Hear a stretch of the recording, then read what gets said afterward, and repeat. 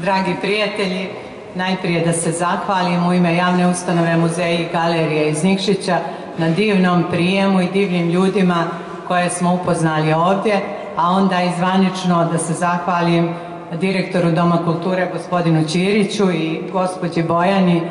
što su nam omogućili da budemo tu, da prisustvujemo gospodinu Šaroviću koji je bio naša spona sa Pirotom i naravno gradonačelniku koji nas je sve lijepo ugostio i koji je nekako dao pečat od prvog dana našem boravku ovdje.